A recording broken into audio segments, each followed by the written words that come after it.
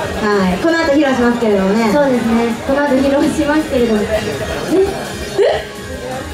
え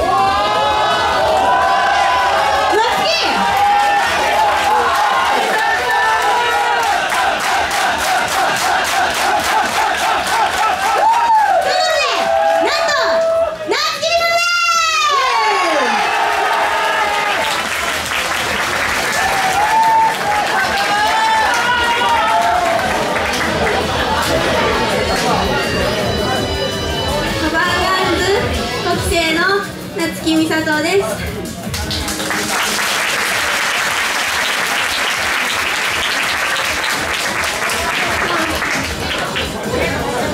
今日はここに最初ワンマンの限定 T シャツを完成したので届けに来たんですよ。本当はそれで帰ろうと思ってましたでもでもここに来たくても来れないちゃんちゃんさんのことがあったり。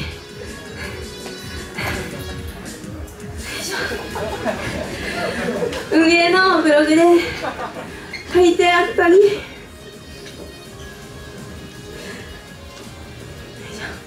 自分のブログでも書いたんですけど自分の口からちゃんと言わないといけないと思ったのでちょっとこの場を借りてお話しさせていただきます。私は最近ステージに立つのがすごく怖くなりました。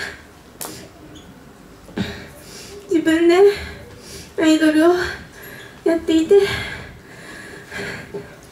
楽しいっていうのが分からなくなってライブ中にどこを見たらいいのかも分かんなくなって。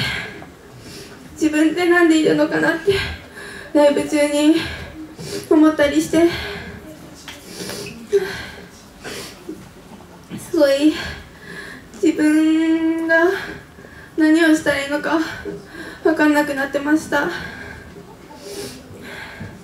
その気持ちがすごいあって。自分はもうなくてもいいんじゃないかなって。思うこと。がすごい多くなって。先日の24時間ライブからずっと活動をしないでいました。24時間ライブの前の日に私は柏原さんに相談して辞めたいって言いました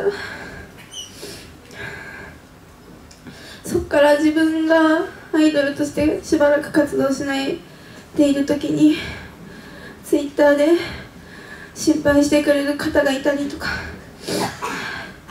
今日のライブを見ててやっぱりアイドルって楽しいんだなっていうのはすごい思いました。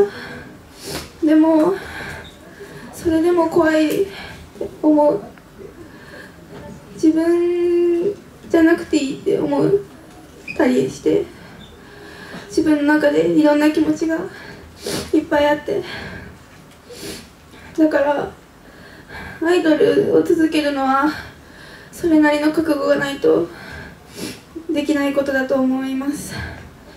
だから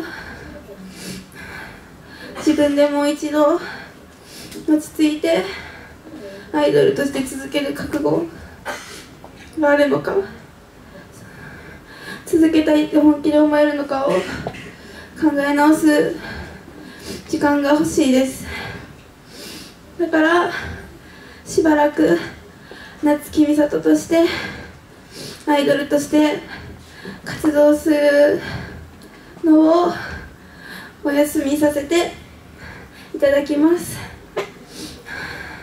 よろしくお願いします。僕はずっと待ってるよ。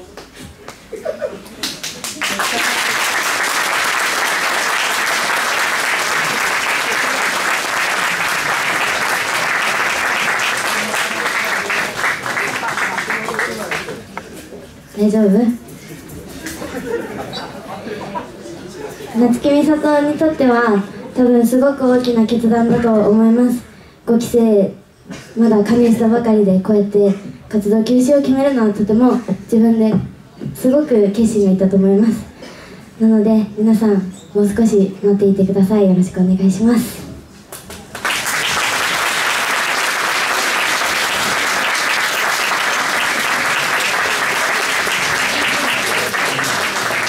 というわけではい夏希がね勇気を持ってこうやってステージに上がってくれたところで続いては続いてはですね、はい。なんとオーバーチュアのもう2014リミックス。お？まあ終わるけど割と終わるけどね 2014年ねもうすぐ。そうなんだけど。ここでねはい。改めてはい。2014年リミックスそして新曲をお披露目した